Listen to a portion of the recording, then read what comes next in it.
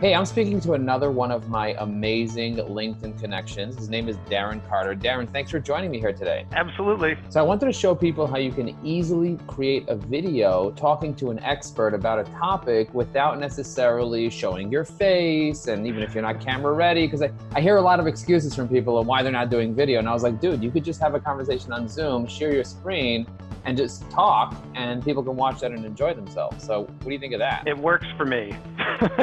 at this time, at this date, bingo. So, we're having a conversation about keyword research now because you are a Google AdWords expert, Google Analytics expert, and you were telling me that you can open up a free AdWords account on AdWords.com and then click on Tools and click on the keyword tool, right? You click on Tools and then you click on the Keyword Planner tool, and then you get to this page, and you can easily figure out what your most important keywords that you can use for your LinkedIn profile or for your website are. So, what do I click on and what is this used for? I think actually another really important number here, uh, especially with respect to PPC, is this tool is going to help you understand potential cost per click for particular keywords. And there's really only two components to getting a lead on your website, and that is that cost per click to your site and how well your site converts that click. So, if they um, you know, if it's a dollar per click and your website converts every hundred people, then you know a lead is going to be a hundred bucks. So like quickly you can start to understand what your budget should be, what the expectations of your site should be, and what your bidding strategies are. You know, and yeah, as much so, as you know keywords, it's it's really important to know what that competitive marketplace is in keywords. Start on discover new keywords to start.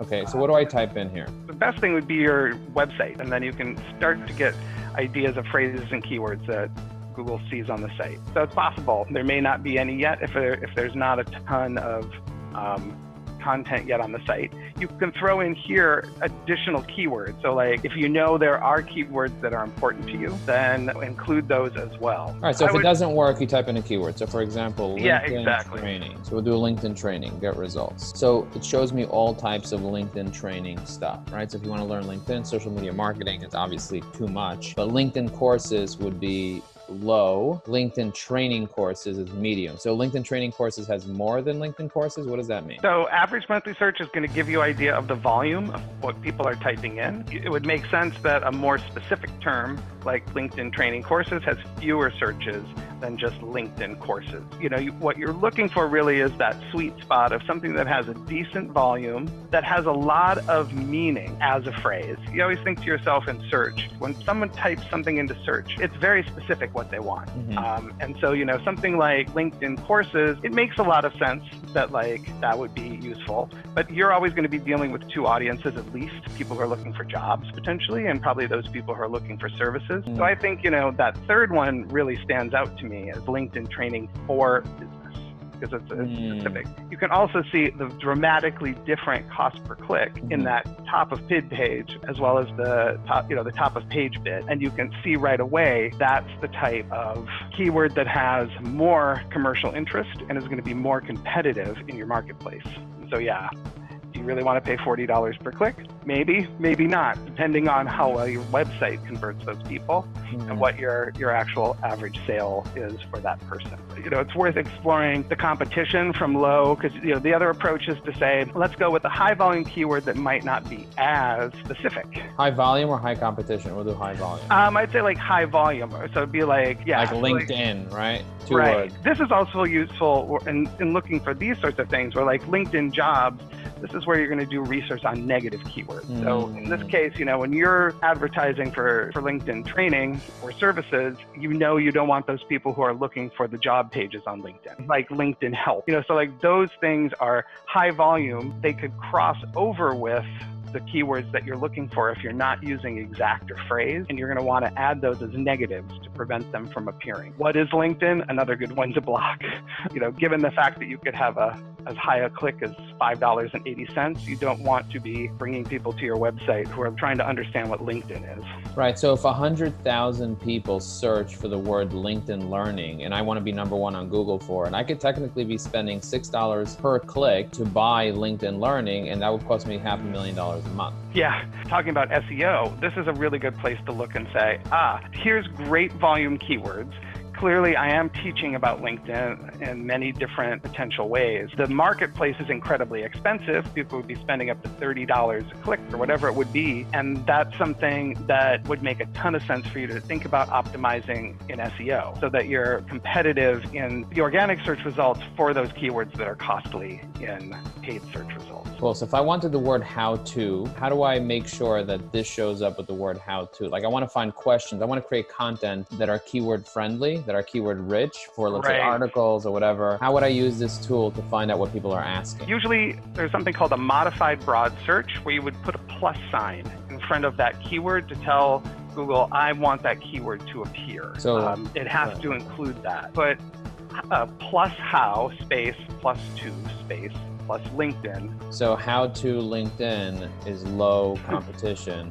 Yep. Yeah, and that's interesting. So someone's just like asking the broadest questions about LinkedIn. Yeah, some of the ones that came to me, right, by relevance, I actually see more how to's. I see- things like how to use LinkedIn, how to post on LinkedIn, how does LinkedIn work, how to network on LinkedIn, how to make LinkedIn private, how to find recruiters. How did you how did you find that by using the plus? I did use the plus, and so I don't know why mine uh, looked different than yours. All right. So for example, how to generate leads on LinkedIn. Look at that. there you go. Yeah. All right. So that but that's only there- getting and a that's a hundred good a hundred range. searches. It's so little. Right. Yeah, it's it's very little on a monthly basis. If you wanted to be at the top of the page, you might have to spend a lot. But it's great that that range is so low, where down to six dollars and forty cents, it might be worth it for you to be, you know, in position four, for example, at the top of the page. You know, looking at that range could make a lot. And th- this is a great way to follow it up to see who is bidding on those keywords right now. So that's so that's the point. The point is find keywords here, create content for SEO, figure out what things are worth, the value that things are worth. Are there any other places that you recommend to do keyword research? Do you recommend SEMrush? Do you recommend Moz? Yeah, I like SEMrush from a competitive standpoint always.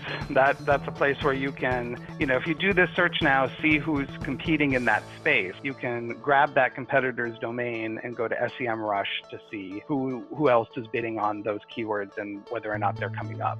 And that you know, especially from like an organic standpoint. So I think you know here you really start to get these ideas about volume. And you're right. I really like your approach is not okay. Now I'm just going to run some ads with these keywords in it. It's no, I'm going to find the most effective content that best represents this keyword.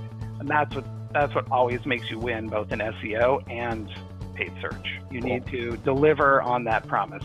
If, you, if it says how you're going to use LinkedIn for social media, in the best case, your article title is how to use LinkedIn for social media. like that should be exactly what someone arrives at on that page. And you're going to get great engagement, and that's going to make the quality scores on your keywords go very high. And So your cost will go down significantly. So for That's what example, what, you're recommending that's why there's that range, you know, is like that that has a reflection of the quality of what Google sees as your ad representing essentially that that search. And a lot of it has to do with web page engagement. Like a little over, I think it's like 40% has to do with whether or not that person stays on your website for a good amount of time and actually, you know, finds what you presented them valuable. Cool. So if I wanted to create like a page that's like how to have a good LinkedIn profile, hmm so I would take all the keywords in that campaign that are related to LinkedIn profile and I would find them all, use them in that campaign specifically, and create a landing page that basically teaches people how to have a good LinkedIn profile. hmm And put all those keywords related to like LinkedIn profile tips, and there, there are 10,000 people that very with a very low competition at a dollar a click.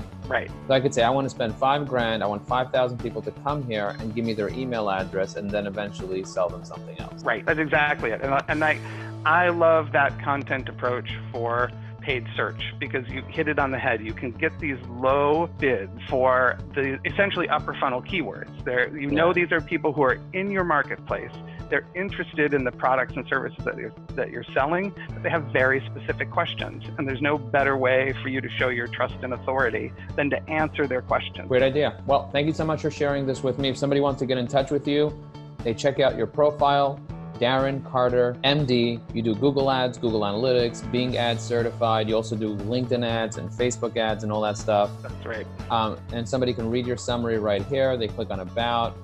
Um, one tip for you is add some call to action here. So if somebody's not Mhm. connected to you and they want like your calendar link or they want your email address or they want your phone number or whatever it is, put whatever your call to action is over here. So Darren, thank you so much for being on this. Really appreciate you. And I'm looking forward to speaking to you again soon. Sounds great.